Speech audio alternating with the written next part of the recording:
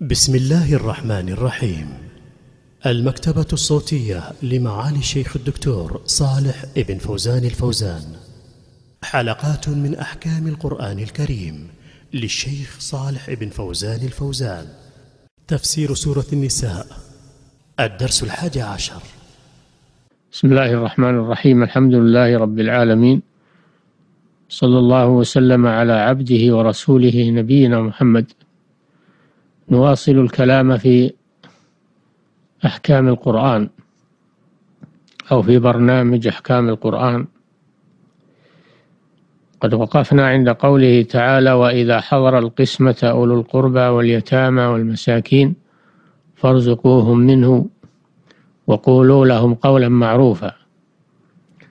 وليخشى الذين لو تركوا من خلفهم ذرية ضعافا خافوا عليهم فليتقوا الله وليقولوا قولا سديدا إن الذين يأكلون أموال اليتامى ظلما إنما يأكلون في بطونهم نارا وسيصلون سعيرا يوصيكم الله في أولادكم للذكر مثل حظ الأنثيين فإن كن نساء فوق اثنتين فلهن ثلث ما ترك وإن كانت واحدة فلها النصف ولأبويه لكل واحد منهما السدس مما ترك إن كان له ولد.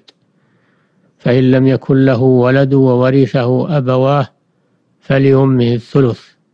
فإن كان له إخوة فلأمه السدس. من بعد وصية يوصي بها أو دين. آباؤكم وأبناؤكم لا تدرون أيهم أقرب لكم نفعا. فريضة من الله وكان الله عليما حكيما.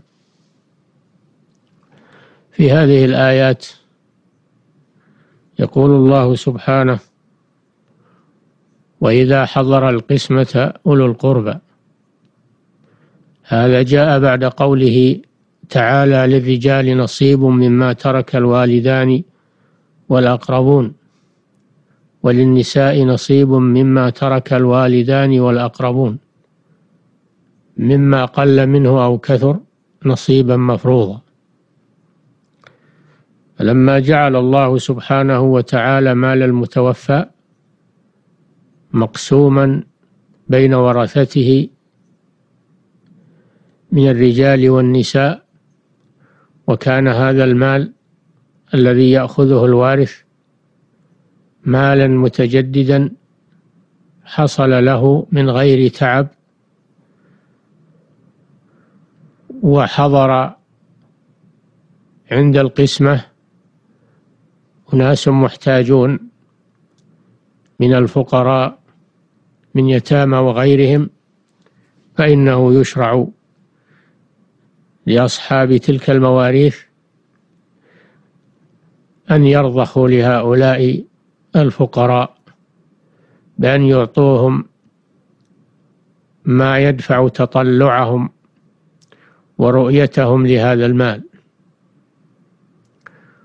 وليكون ذلك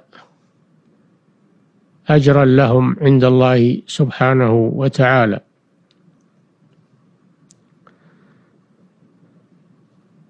ثم قال سبحانه وقولوا لهم قولا معروفا أي ليكن إعطاؤكم إياهم هذا العطاء من غير من ومن غير أذى بل يتبعه قول معروف. كما قال سبحانه وتعالى قول معروف ومغفرة خير من صدقة يتبعها أذى. وقيل المراد أنكم إذا لم تعطوهم من المال شيئا فطيبوا خواطرهم بالكلام الطيب. وقولوا لهم قولا معروفا. ويكون في هذا العطاء لهم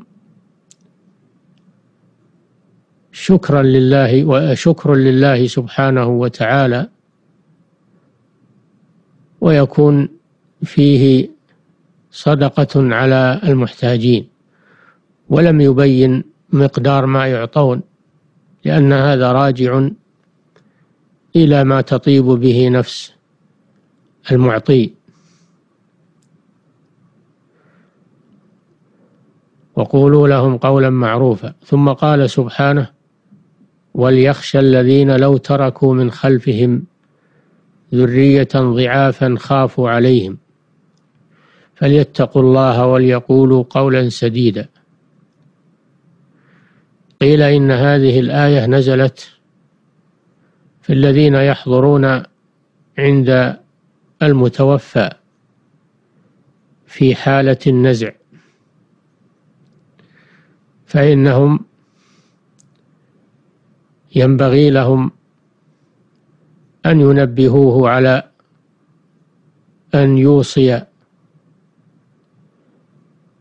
بما يجري له أجره بعد موته من المال. وأن يحذروه من الجور في الوصية.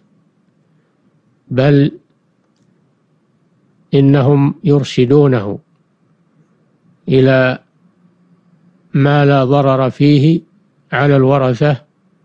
وفيه نفع للميت. وذلك بأن يوصي بشيء من ماله في حدود الثلث فأقل ويكون ذلك لغير وارث. ويرشدونه إلى ذلك وينبهونه إلى ذلك ويحذرونه من الحيف والجنف في الوصية لما في ذلك من الإثم. وعليهم أن يتذكروا لو أن أولادهم من بعدهم حصل عليهم جنف في الوصية وحيف فيها ماذا تكون حالهم؟ لو تركوا من خلفهم ذرية ضعافا خافوا عليهم. فعليهم أن يحسنوا في توجيه المحتضر بأن يوصي بما لا ضرر فيه على ورثته ولا إجحاف.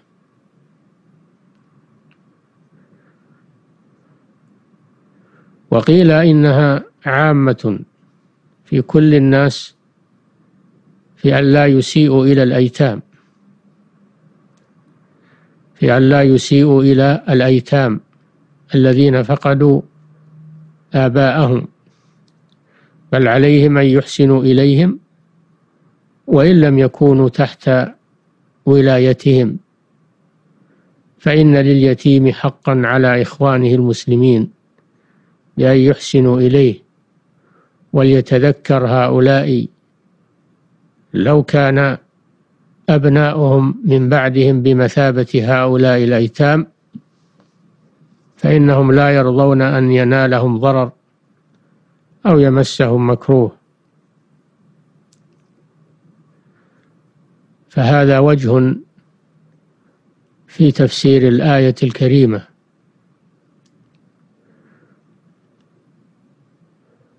وقيل إن معنى الآية توجيه الأوصية على الأيتام. الأوصية على الأيتام. الذين يتولون أمر الأيتام عليهم أن يحسنوا إليهم ويربوهم التربية الحسنة ولا يسيئوا إليهم وعلى أن يحفظوا أموالهم ويعتبرونهم كأولادهم وعليهم أن يتذكروا أن لو كان أولادهم من بعدهم أيتاما وصار عليهم وصي أساء إليهم وفرط في أموالهم. هل يرضون بذلك؟ فإذا كانوا لا يرضون بذلك لأولادهم فلئلا يرضوه لأولاد إخوانهم من المسلمين من باب أولى. فهذه وجوه ثلاثة في تفسير الآية. والله تعالى أعلم. صلى الله وسلم على نبينا محمد وعلى آله وصحبه وإلى الحلقة القادمة بإذن الله لنواصل الكلام على بقية الآيات. السلام عليكم ورحمة الله وبركاته.